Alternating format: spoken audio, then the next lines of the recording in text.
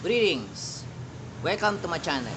And today, tuturuan ko kayo kung paano maglinis ng PCB valve at ng valve cover. Kung interesado po kayo, watch this video. First step, tanggalin natin yung cover.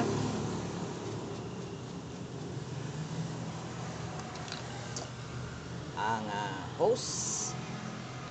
Sabi muna natin. Ang rubber gasket.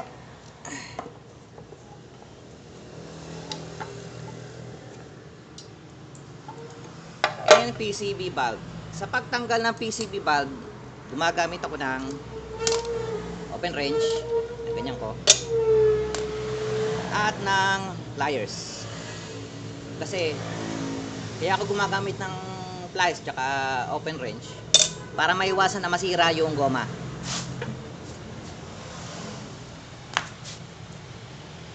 Yan, inaapakan ko siya. Hugot ko. Ayan, mahirap. Yun. Sa ganyang paraan, hindi masisira yung ano. Kita nyo, baradong barado oh. Yung PCB valve. Next step, maglilinis tayo ng PCB valve. Gagamit tayo ng ah, carb cleaner, tsaka compressed air, compressor. Kita nyo naman kung gano'n ano yan. Daming dumi. I-sprayan lang natin.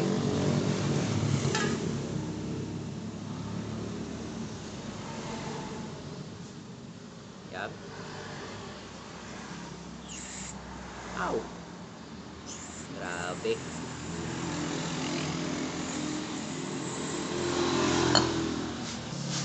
Sinet ko sa 100 PSI. Ayan, ba natin.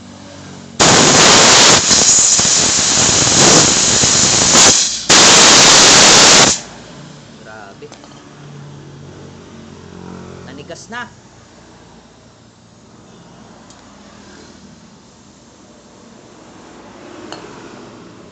Kailangan sundutin muna.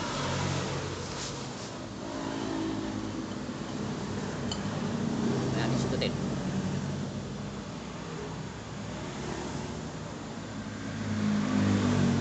Grabe. Oh. Ganyan siya kadumi.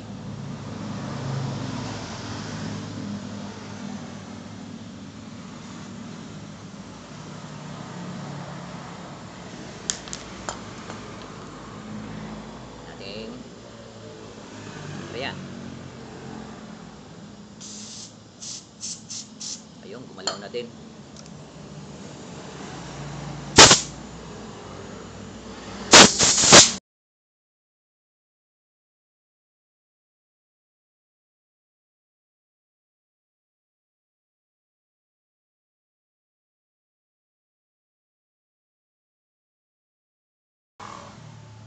Isa pang paraan ng paglilinis ng isang baradong PCB valve ay ang pagbababad sa gasolina. Babad lang natin dyan yung ano, PCB valve para malusaw yung mga carbon sa loob. Tabi muna natin. So next step, dito naman tayo sa ating uh, valve cover. Sa ating valve cover hindi ma ah, mahal ah, dapat siya in and out. Labas pati yung loob. Yung inner part niya. Lalong lalo na yung ano air passages ng breather at ng papunta sa PCB sa PCB valve sa goma. Gagawin natin, susundutin natin siya ng guitar string. Hanap tayo ng ano, butas. Sun- Sundutin natin siya.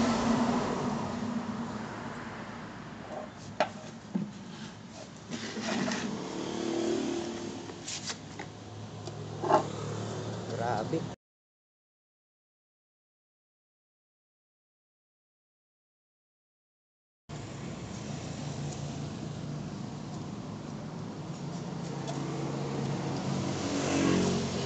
Ang ating breather at ang ating PCB valve, siya yung nagsisilbing parang ilong ng ating makina.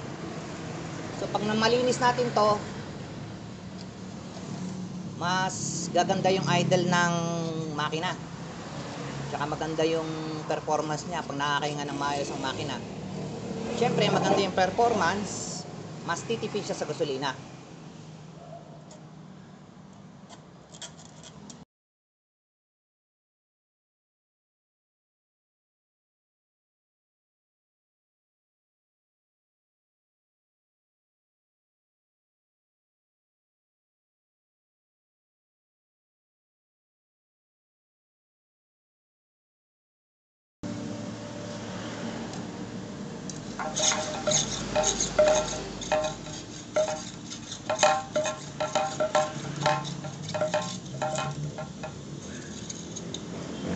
Okay. Habang nilusundot, air compressor.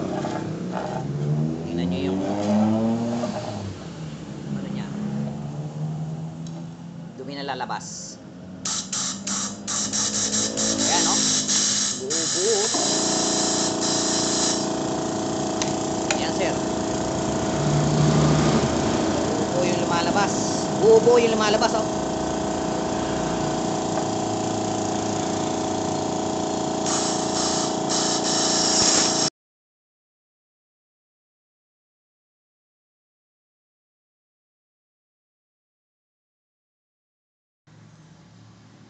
Ayan po. Mga lating oras na ako sa paglilinis.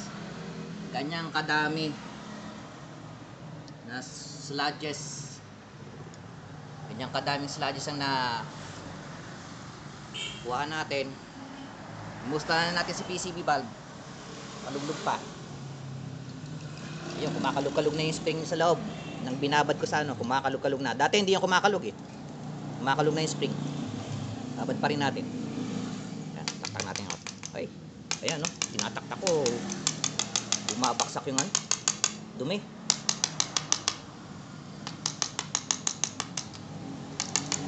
Okay, babad ulit.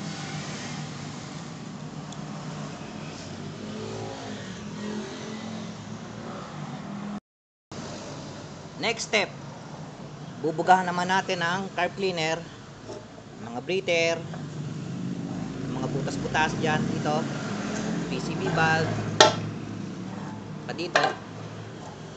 Yan, bugahan natin ng ano yan, ng car cleaner. Ito. Ayan. Ito, itong part na to, yan. Bugahan natin ng car cleaner. Tapos, air compressor natin. Ito muna. Spray. Yun, lalo na lumabas, oh. Dumi oh.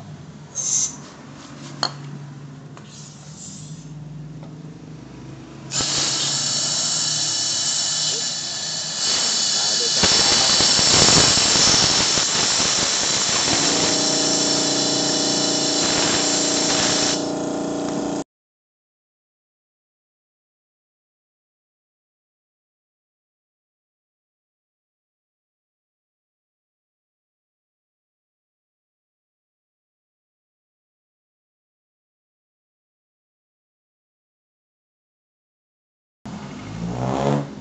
Next procedure, sabon, tsaka scotch brite.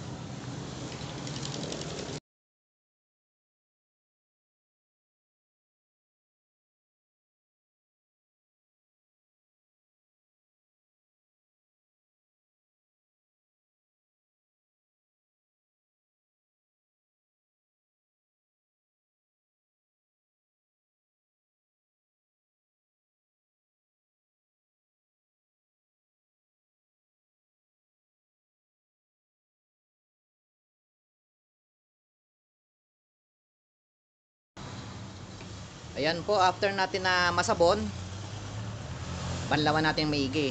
Pagka banlaw natin maigi, saka natin patuyuin. Yan, ganyan po ang itsura niya ngayon after malinis. Yan. Yan. So, kung nagustuhan niyo po yung ah, aking video, please share, like, subscribe, at ah, click that ah, bell icon para ma-notify po kayo sa susunod kong mga video. Ito po ang inyong Kuya Makel saying maraming salamat po, maraming salamat sa Diyos.